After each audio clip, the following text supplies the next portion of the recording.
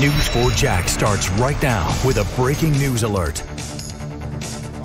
Breaking right now on News for Jax at 6, a jury has just recommended this man, Johnathan Quiles, face life in prison after he killed his niece five years ago.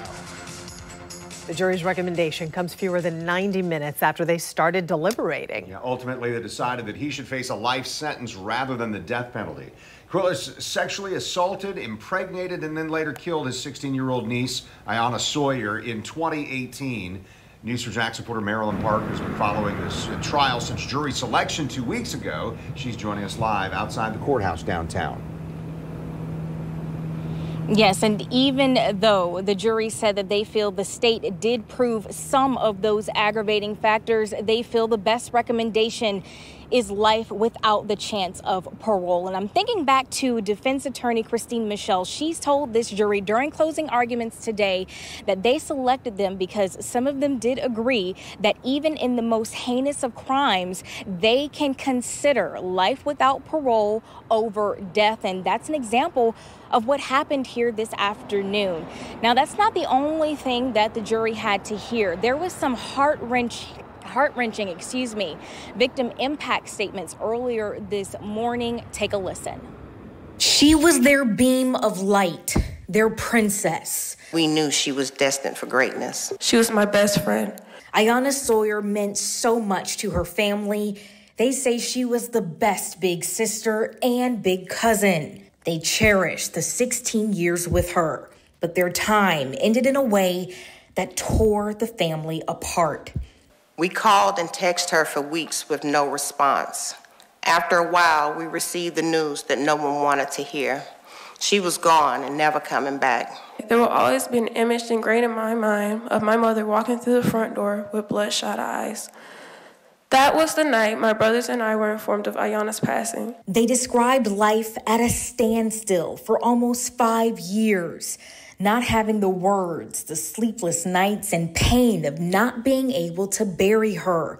Sawyer's sister on the stand calling out the public criticism the family faced. Throughout the time Iyana has been gone, day by day, individuals have questioned my mother's parenting.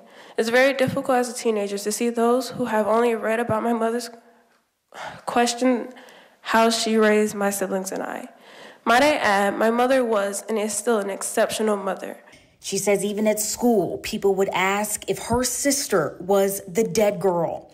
All this family could do was be there for each other. How do we heal? How do we trust? How do we live given all that we've learned? Justice is just the beginning of our healing process.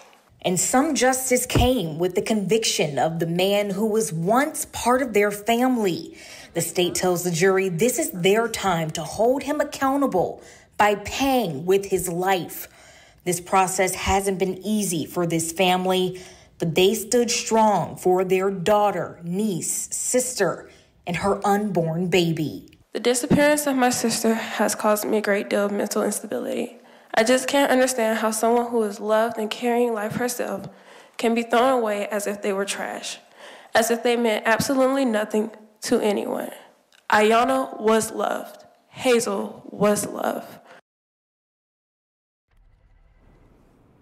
And so keep in mind, this family is still without their loved one, as you heard in those victim impact statements. Now, Thursday is when they will schedule a hearing for when Quiles will be sentenced. That is set for Thursday at 1.30 to be exact. And also keep in mind that this is just a recommendation from the jury and the judge still has the final say.